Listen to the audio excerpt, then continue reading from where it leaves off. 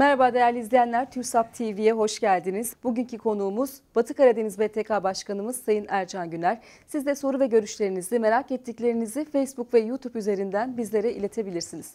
Ercan Bey hoş geldiniz yayınımıza. Merhaba, hoş bulduk. Şimdi hem bölgeniz çok büyük hem de gündem hareketli konuşacak çok şey var.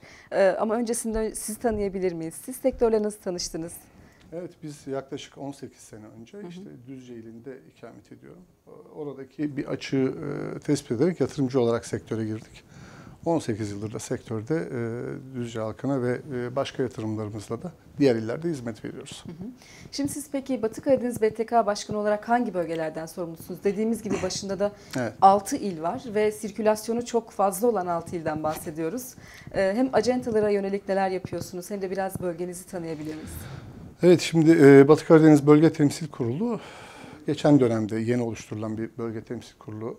6 il bizim e, hizmet alanımızın içerisinde. Bu iller Kastamonu, Karabük, Bartın, Bolu, Düzce ve Zonguldak illerini kapsıyor.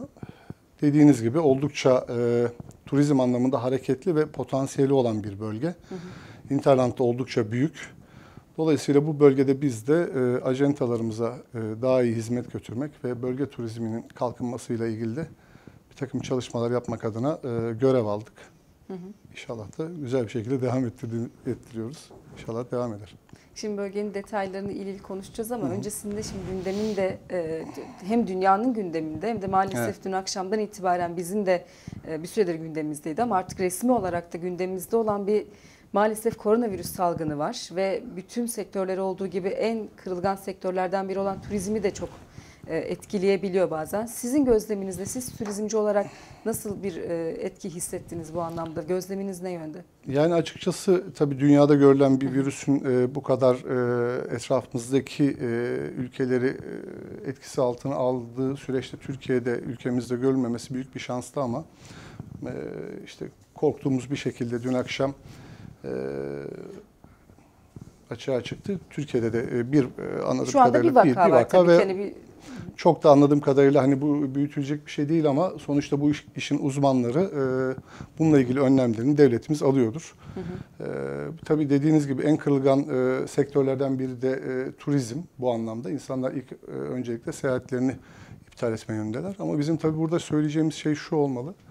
E, tüm e, halkımız yani misafirlerimiz bilmeliler ki sonuç itibariyle atıyorum Ağustos ayında veya Temmuz ayındaki bir turlarını, seyahatlerini e, şimdiden koş, koşarak işte seyahat acentalarına yüklenerek iptal etmek için acele etmesinler.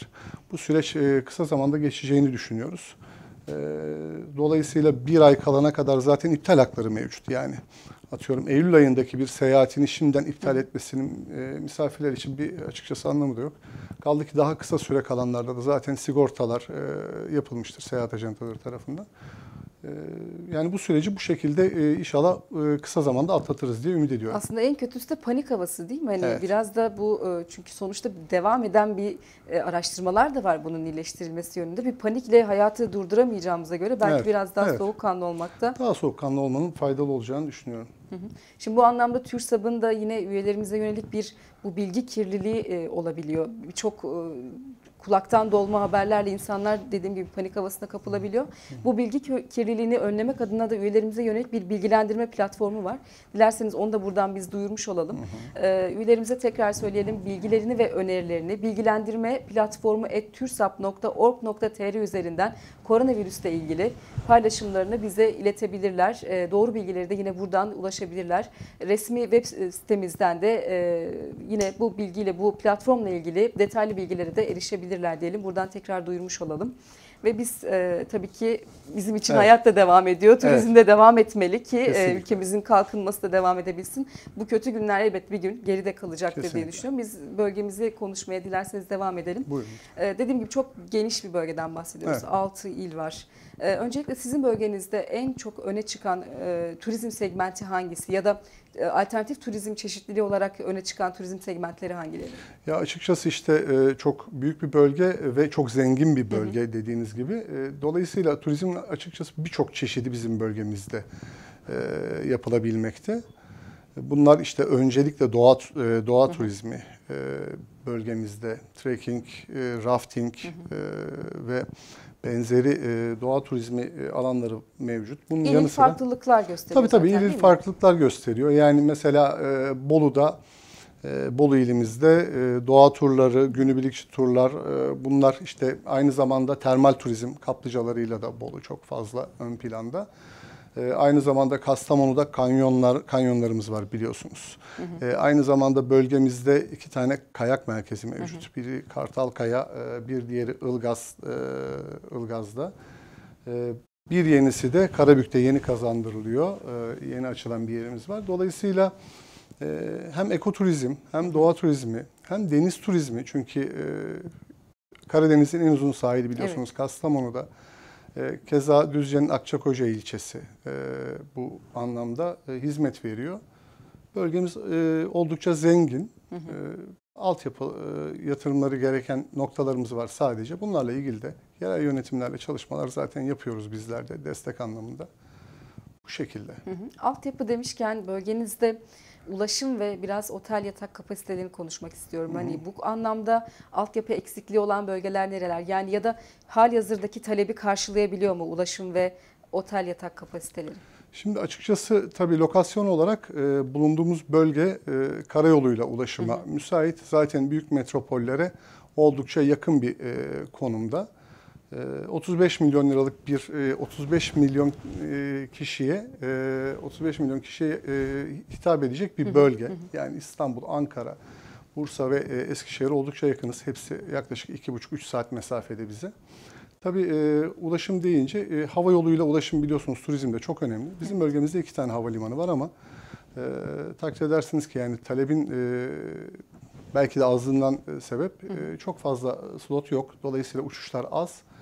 E, bu anlamda yeterli değil ama karayoluyla çok rahatlıkla Sabiha Gökçen Havalimanı'ndan bölgemize gelmeniz 2 saat. Dolayısıyla e, otobanın ortasında olmasından sebep gayet rahat bir şekilde ulaşabilirler.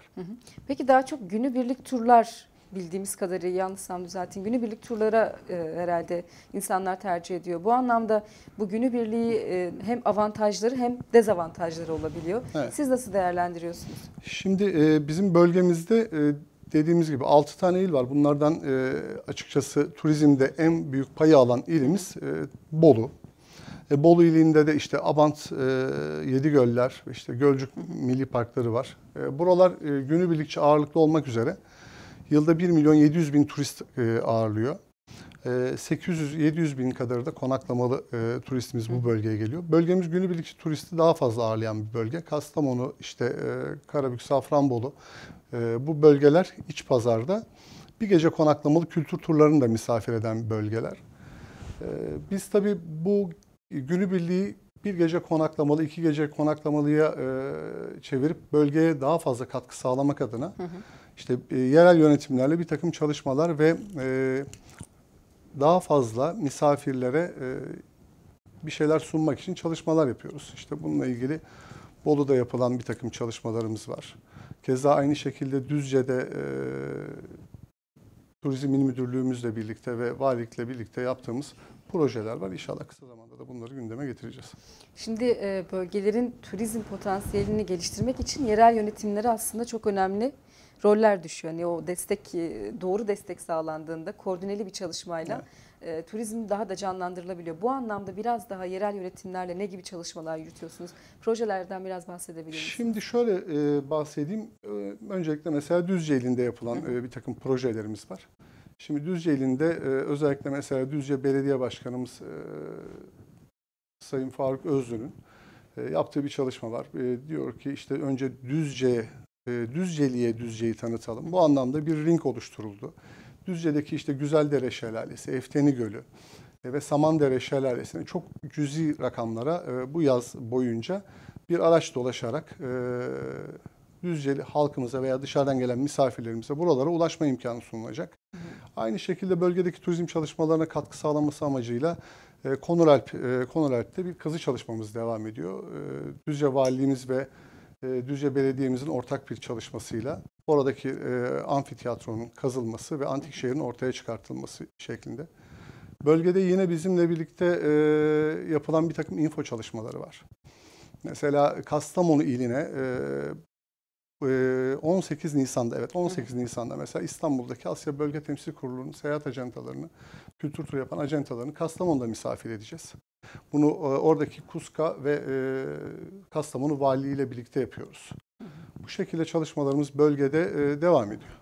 TÜRSAB'ın BTK'lar arası info gezileri e, düzenli özellikle ajantalar hani e, hem bölgelerini karşılıklı olarak tanıyabilsinler ve belki bunu öneri olarak tüketiciye sunabilsinler diye. Bu anlamda e, hangi BTK'lar info gezileri düzenledi ve siz bu gezilerden geziler sonrasında bir verim alabildiniz mi? Etkilerini hissettiniz mi? Tabii şimdi geçen yıl biz e, bölgemizde Karabük'te, Safranbolu'da ve Kastamonu'da 300 tane seyahat ajantasını 150-150 olmak üzere e, misafir ettik. Seyahat ajantası sahibine özellikle misafir ettik. E tabii burada bir bir görüş, görüşmeler de oldu. O e, ajantacı dostlarımızı orada gezdirip misafir ettiğimizde onların e, bölgeye bakış açıları değişti. Tanıma imkanı buldular. Otelcilerle görüştüler. Bunun güzel etkilerini gördük. Daha sonrasında bölgemize tur yapan e, ajantacı arkadaşlarımızın olduğunu gördük. E, kesinlikle info gezilerinin faydalı olduğunu e, düşünüyorum ve bu şekilde de çalışmaları yapıyoruz. Bizim de e, Batı Karadeniz Bölge Temsil Kurulu olarak bu yıl planladığımız e, üç tane infomuz var. Biz de bir Kıbrıs infosu yapacağız bölgedeki ajantalarımıza. Aynı zamanda e, yine kendi bölgemizi tanımak adına 1-2 Nisan'da biz de Kastamonu ilini tanımak üzere evet, kendi bölgemizdeki 6 ildeki ajantalarımızla bir iki günlük e, Kastamonu'yu e, ziyaret edeceğiz. Bu şekil e, şeylerimiz, e, çalışmalarımız yine var. Ama aslında dediğiniz gibi şimdi tam da biz hani e, seyahat ederken hep popülerin peşinden gidiyoruz, bilinenin peşinden Hı. gidiyoruz ama her bölgenin kendi e, içinde saklı kalan e, güzellikleri olabiliyor ve mutlaka belki de görülmesi gereken. Sizin bu anlamda e, nasıl bir rota çizersiniz seyahat severe kendi bölgeniz için görülmesi gereken yerler olarak? Şimdi şöyle e, tabii ki popülere gidiyoruz ama bir de keşif var biliyorsunuz. Yani Evet. e, tüketilmiş noktalar var. Dolayısıyla biz kendi bölgemize şöyle bakıyoruz. Henüz işlenmemiş bir elmas bizim bölgemiz. Dolayısıyla yeni bir destinasyon açıkçası. Yani belki bunun içerisinde bu büyük destinasyonun içerisindeki belli noktaları misafirler belki ziyaret etmiş olabilirler. Avantı görmüş olabilirler ama mesela hani bir m, Kastamonu Horma Kanyonu'nu görmemişlerdir. Bir belki Düzce Güzeldere Şelalesi'ni görmemişlerdir. Yani bir Yenice'yi görmemişlerdir. Mesela Yenice'de çok güzel bir e, Karabük'ün Yenice ilçesinde bir Ihlamur Teras diye bir yer. e, oradaki belediyenin bir yatırımı var. Özel idareyle birlikte zannedersem. Çok çok güzel yerler. Dolayısıyla bir keşif e, içinde bizim bölgemiz çok çok e, müsait. E, bizim de bölgemizle ilgili e, ajantaların şöyle bir talepleri var. Şimdi Doğu Karadeniz'i e, yıllardır satıyoruz. Hani Doğu Karadeniz'i bir nevi sattık ve tükettik diyebiliriz. Halen tabii ki talep olacaktır oraya. Ee, ama yeni bir destinasyon olarak biz Batı Karadeniz bölgesinin e, yeni bir destinasyon olacağını ve bununla ilgili de e, çalışmalarımız var. Bununla ilgili yaptığımız bir tur programı var. 4 gece ve 5 gece konaklama olarak acentaların rahatlıkla pazarlayabilecekleri bir program. E, bu programı da acentalarımızla paylaşıyoruz.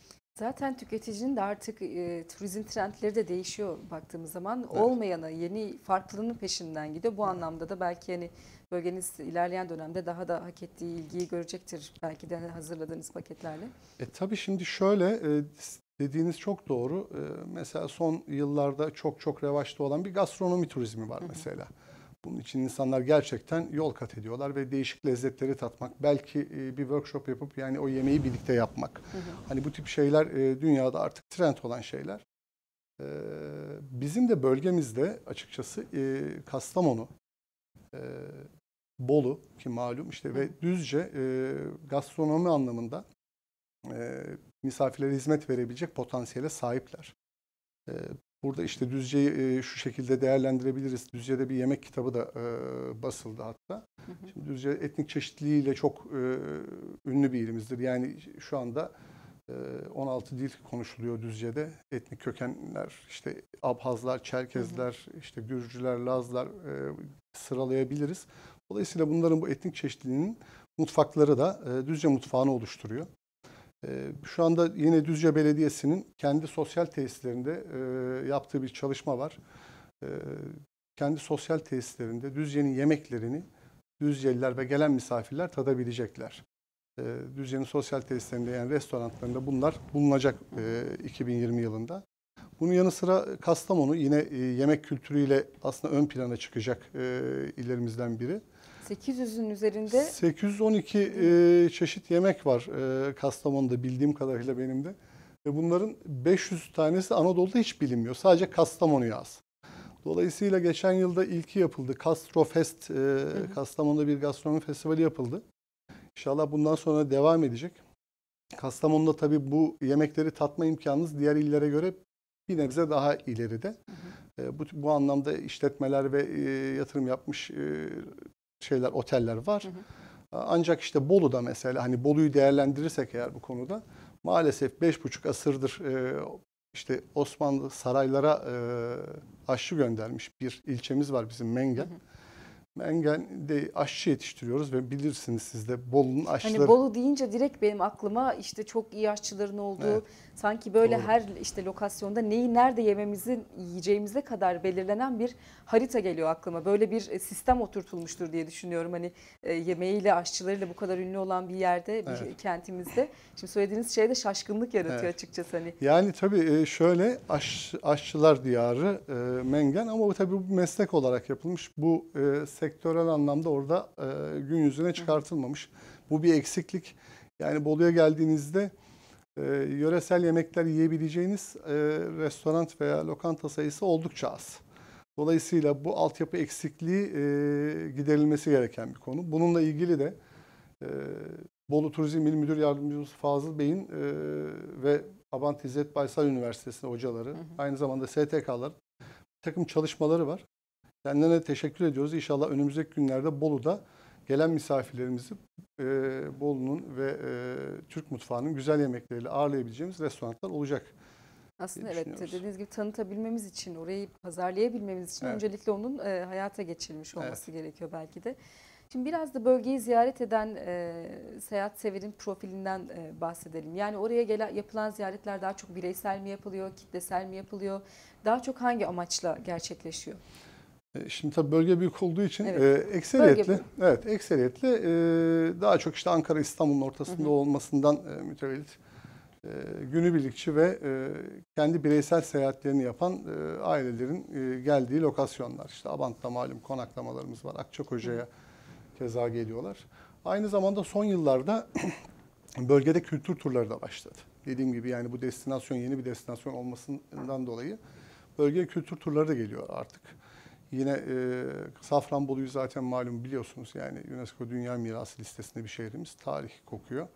E, eski popülaritesini e, kaybetmiş Evet olsa bir bile. dönem çok popülerdi. Evet. Safranbolu evlerini mutlaka hani gidilip görülmesi gereken insanların sıklıkla gidip paylaşımlar yaptığı bir yerde. Hala o, o şekilde o aynı e, popülerliğini koruyor mu? Valla e, açıkçası korumuyor. Çünkü ben de e, dediğim gibi 18 yıldır sektördeyim.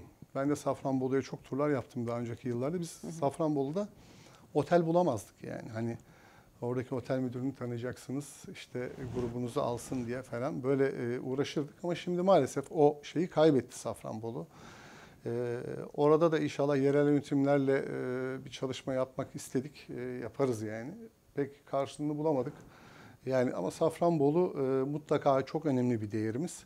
Korunması ve e, turizm anlamında da tanıtılması gereken bir nokta.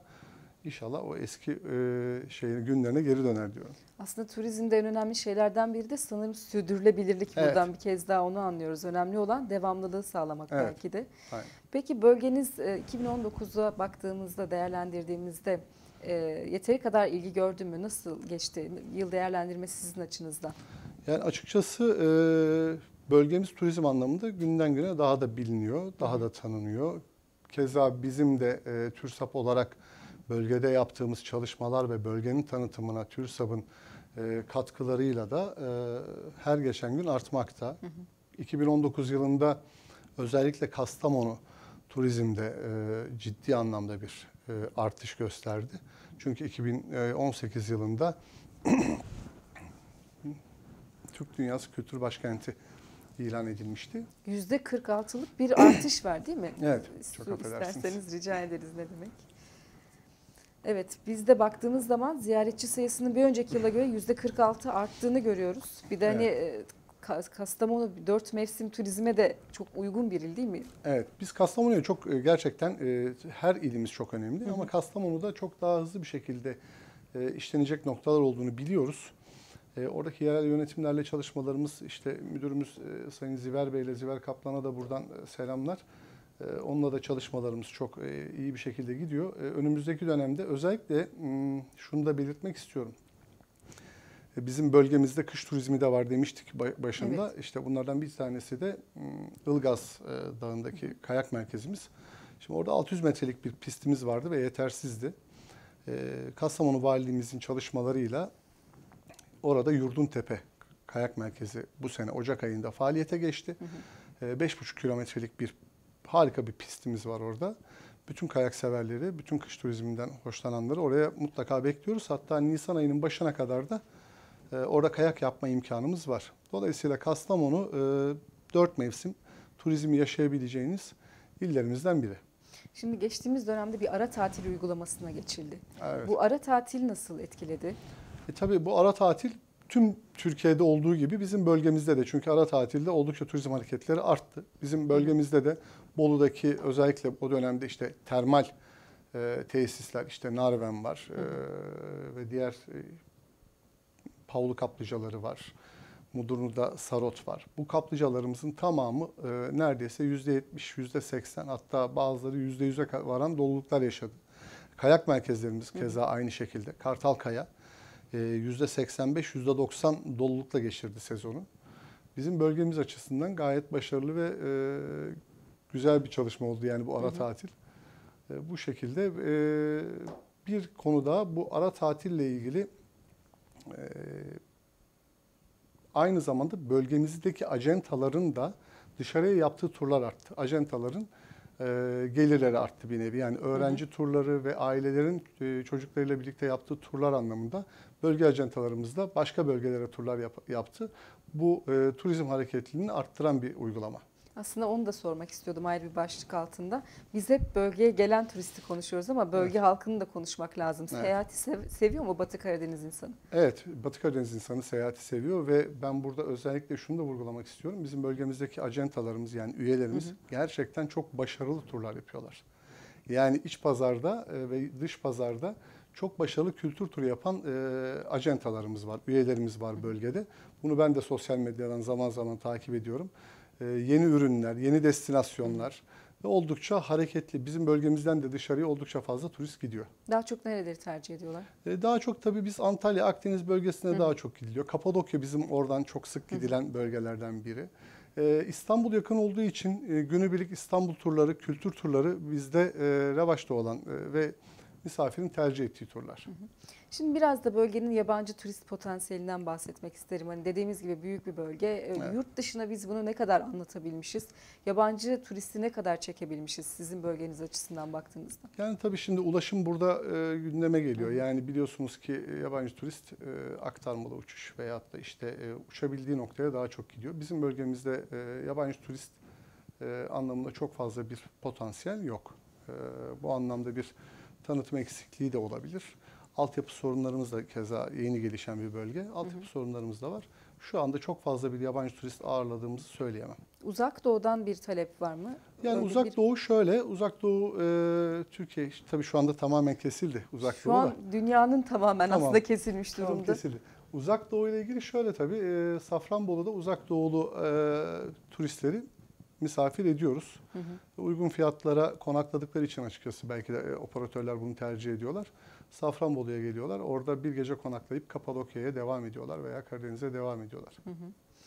Ee, devam et, edecek olursak şimdi sizin açınızdan BTK Başkanı olarak ve o bölgedeki bütün acentalarla iletişim halinde bir BTK Başkanı olarak acentalarımızın yaşadığı en önemli sorunları listeleyecek olursak başında ne geliyor? Bölgenizin e, turizm potansiyelini e, açığa çıkarmanın önündeki engeller olarak sıralayacak olursak sizin yaşadığınız ve beklentileriniz neler bu anlamda? Yani şimdi tabii bizim bölge acentalarımız daha çok bizim bölgede turizm yapmıyorlar. Daha çok tabii ki dışarıya gidiyorlar. Bizim bölge acentalarımızın en büyük sorunları tüm Türkiye'deki acentaların sorunları olduğu gibi işte bölgemizde yeterli rehberin e, ikame edilmemiş olması. Yani rehber sorunumuz var.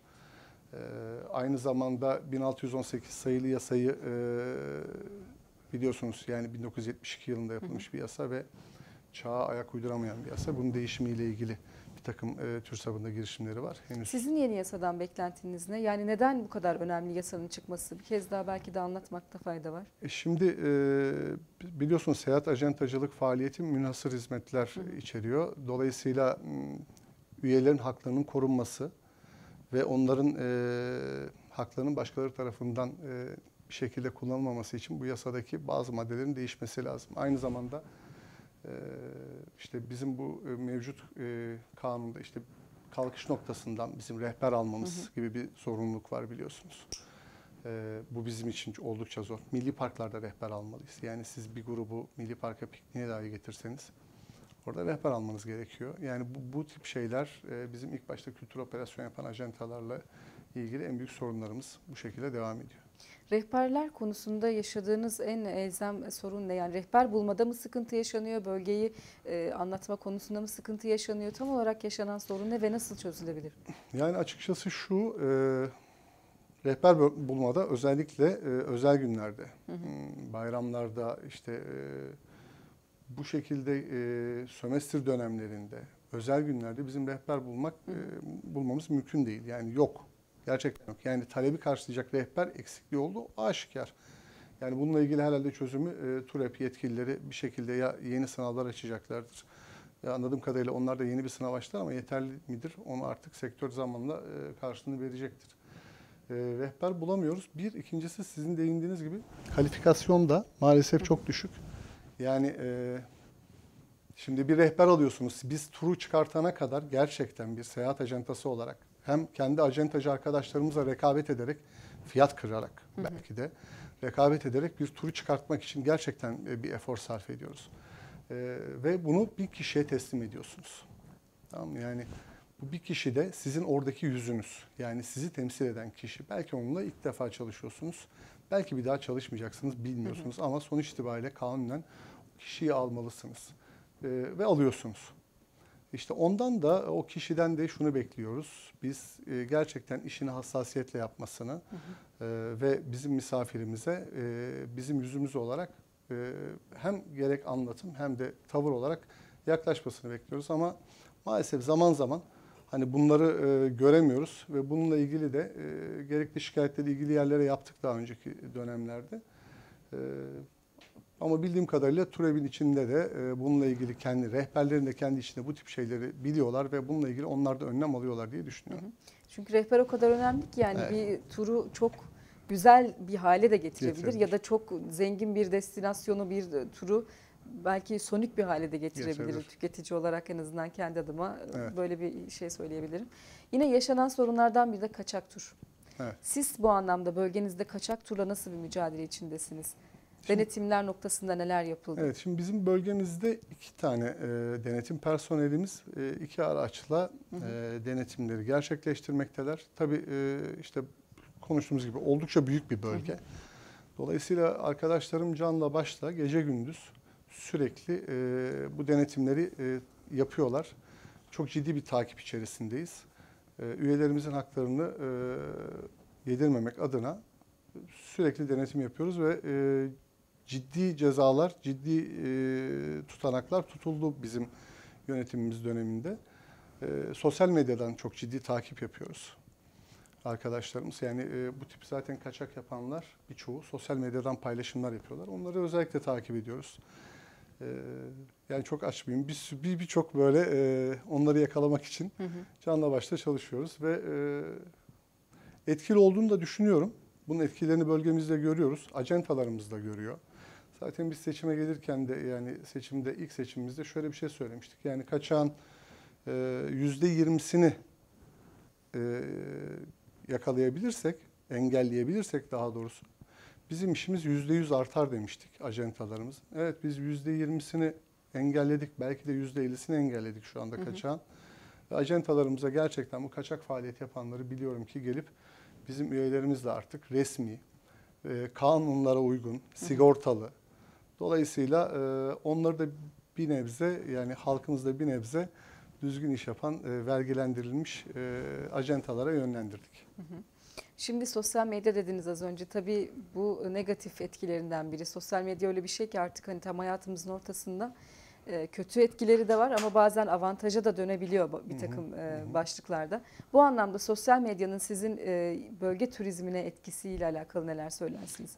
Sos- sosyal medya paylaşımları tabii şimdi bir bölgeyi e, dediğiniz gibi güzel bir şey varsa güzel bir şey gösterdiğinizde bu ilgi çekecektir ama işte sizin kötü bir şeyiniz varsa Hı hı.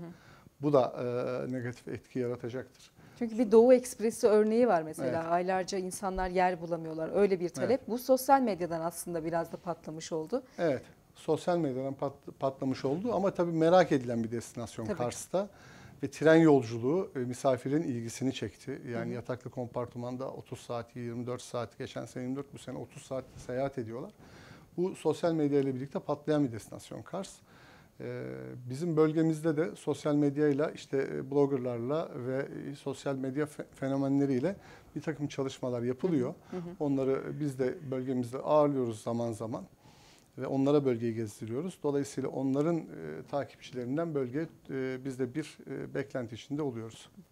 Artık çok etkili olabiliyor çünkü Evet. kitleleri gerçek anlamda peşlerinden sürüklüyorlar ve kendi deneyimlerini bir anlamda önerdikleri için e, alıcı da bulabiliyor. Şimdi biraz da TÜRSAB'ın acentalarımıza yönelik hayata geçirdiği e, projelerden bahsedelim. Bunlardan biri e, TÜRSAB Rota projesi. Evet. Bu siz TÜRSAB Rota projesini nasıl değerlendiriyorsunuz? Sizce sektöre katkısı ne olur? TÜRSAP Rota tabii dijitalleşen dünyada oldukça önemli. E, seyahat ajentalarının e, ürünlerini pazarlayabilecekleri bir pazar yeri. Aynı zamanda üretici acenta olmayıp da sadece satıcı acentalarında daha fazla ürün gamını e, bulabilecekleri bir nokta. E, bir meslek örgütü olarak da e, TÜRSAB'ın üyelerine böyle bir hizmet sunması oldukça güzel, oldukça e, doğru bir e, yaklaşım. Güzel bir proje yani bunu ben de destekliyorum. Ancak şu günlerde işte e, TÜRSAP Rota biliyorsunuz faaliyetlerine başladı. Evet. E, ancak ben e, burada bir ufak e, eleştiride bulunmak istiyorum. Yani TÜRSAP Rota'da siz bir turu tanımladığınızda, e, ücretini e, üretici acente olarak tanımladığınızda buradaki post komisyonu veya işte e, ödeme sisteminin aldığı e, komisyon oranı oldukça yüksek. E, Dolayısıyla bununla ilgili benim bölgemde oldukça e, acentalardan e, tepkiler var. Birçoğunu e, bunu yüklediklerinde atıyorum işte 2000 liralık bir turu yüklediklerinde 2150 lira gibi bir rakamın sisteme yansıdığını, bunun sebebinin işte ne olduğunu sorduklarında doğru yani tatmin edici cevap alamadıklarını öğrendim. Bununla ilgili TÜRSAP rota yetkililerini buradan en azından bu konuyu iletmiş olalım. E, buradaki e, ödeme sistemiyle ilgili belki bir düzeltme yapılabilir. Onun haricinde sistem kesinlikle ve kesinlikle acentaların çok çok kullanabilecekleri, çok e, faydalanabilecekleri bir sistem. Şimdi yine illere ve bölgeye geri dönelim. Ee, Biraz daha böyle e, farklı farklı konu başlıklarıyla daha böyle hareketli olsun diye yayını çeşitlendirmek isterim. Sizin de aynı zamanda memleketiniz olan Düzce'den biraz Evet. bahsedelim. Oranın turizm potansiyelinden konuşalım ve bir takım altyapı sorunları e, Evet. yaşandığını biliyoruz Düzce'de. Detaylarını sizden alalım. Şimdi e, az önce bahsettiğim gibi Düzce etnik çeşitliliğiyle aslında e, oldukça e, turizme yatkın ve e, pazarlanabilecek çok argümanın olduğu bir il. Dolayısıyla e, bu anlamda bir takım çalışmaları hali hazırda e, Sayın Zülkif Dağlı Valimizin önderliğinde yapıyoruz hep beraber. E, Düzce yeşiliyle, doğasıyla, e, deniziyle e, bir bütün. E, Şu son dönemde özellikle bir yeni açtığımız bir mağaramız var. Sarıkaya Mağarası Yığılca'da. Ben e, meraklılarını kesinlikle görmeleri gerektiğini buradan iletmek istiyorum. E, yani çok e, farklı, çok büyük galerileri olan bir mağara. Oldukça ilginç. Mutlaka ziyaret etsinler. Düzce e, önümüzdeki dönemde gastronomi turizmiyle de e, ön plana çıkacak. E, aynı zamanda zaten Akçakoca e, bizim bir ilçemiz. Denize açılan kapısı Düzce'nin. E, 1950'lerden beri aslında Türkiye'deki ilk turizm hareketleridir. E, hareketleri Akçakoca'da aslında e, görülmüş. Karavan kamping turizminin e, revaçta olduğu tarihlerde Akçakoca çok fazla ziyaretçi alan bir ilçemizdi. Yine bu şekilde e, yine orada Akçakoca'da Ceneviz Kalemiz var. Onun da restorasyonu tamamlanıyor.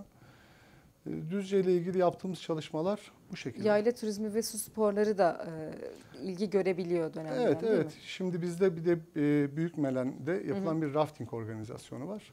oldukça fazla rağbet görüyor rafting. İstanbul ve Ankara'dan günübirlikçi e, ajantalar gelip gruplarını getirip günübirlik rafting yaptırıp tekrar geriye getirebiliyorlar. Yani bu da farklı bir destinasyon oluyor.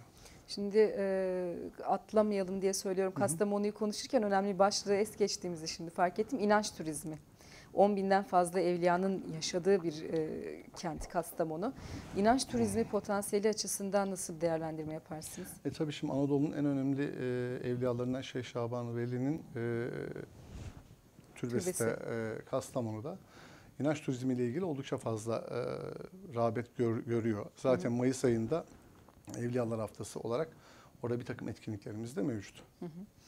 E, peki 2020 hedefleri diyelim o zaman. Kapatmadan önce son sorumuz olsun. Evet bu şimdi Beklentiniz, bu şimdi e, tabii e, mevcut gündemden dolayı hani bunu beklenti olarak artık e, söyleyebiliriz. Biz 2020 yılında 6 ilimizde de e, yürütmüş olduğumuz şu anda 18 projeyle bölgenin turizmine katkı sağlayarak yani e, ilk hedefimiz şeydi %18, %19 gibi bazı illerde bazı illerde %30 gibi turist sayılarımızı arttırmaktı. Bu şekilde bir e, planlama içerisinde olduk zaten.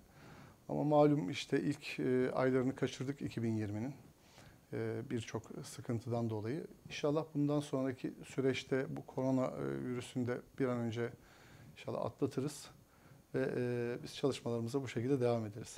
Mutlaka geçecektir. Hani hayatın sonuna kadar bunun bu Evet. şekilde devam etmesi söz konusu olamaz. Bizimle beraber, ülkemizle beraber dünya da bununla mücadele ediyor. Umarız en kısa sürede dediğiniz gibi geçer. Bu anlamda biz tekrar e, TÜRSAB'ın kurduğu bilgilendirme platformunu tekrar hatırlatalım. Hem üyelerimize hem şu andaki izleyicilerimize. Bu koronavirüsüyle ilgili e, yalan yanlış bilgi kirliliğini önlemek adına TÜRSAB bir bilgilendirme platformu kurdu. Detaylarına resmi web sitemizden ulaşabilirsiniz. E, ayrıca bilgilendirme platformu tursap.org.tr adresi üzerinden de bilgileri aldığınız bilgileri ve değerlendirmelerinizi, yorumlarınızı bizlere iletebilirsiniz. Ercan Bey çok teşekkür ederiz Rica katıldığınız için. Ben teşekkür ederim. Eklemek istediğiniz bir başlık yoksa. Yok, Peki tamam. Ee, Batı Karadeniz BTK Başkanımız Sayın Ercan Güner'le e, bölgenin 6 illik geniş bölgenin turizm potansiyelini değerlendirdik. Şimdilik hoşçakalın.